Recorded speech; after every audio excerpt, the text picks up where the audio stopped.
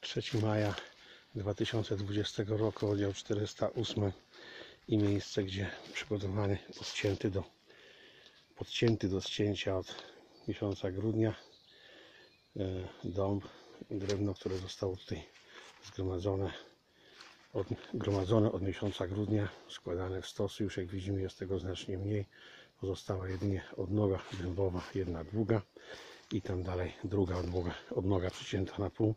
No i oczywiście ten dąb, który był podcięty, to zresztą widać wyraźnie po pniu, widać gdzie jest stare podcięcie, gdzie nowe. Tutaj tak samo widać raz podcinający po prawej stronie ten strociną ciemny, ścinający jasny. Zostało to ścięte, przygotowane do zabrania. Po prostu ktoś sobie to szykuje, mija. Jest w tej chwili maj, więc minęło pół roku od rozpoczęcia tych działań. Tutaj sosna, którą widzimy, tej sosny nie ma, została zabrana dawno temu.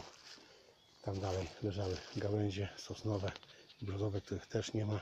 Jedyne jakie zostały w tej chwili to te właśnie tam po lewej stronie e, tam w kierunku Dokupskiego Lasu.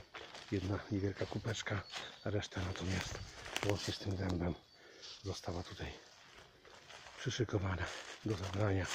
Dom użytku będzie miał niewiele, bo ja wiem, jakieś może 2,5-3 metry gdzieś do tego miejsca nie więcej, czyli około 3, około 3 metrów, jak sądzę, e, całkiem przyzwoitego kawałka dębowego, z którego coś można zrobić, a reszta jak podejrzewam pójdzie w piec.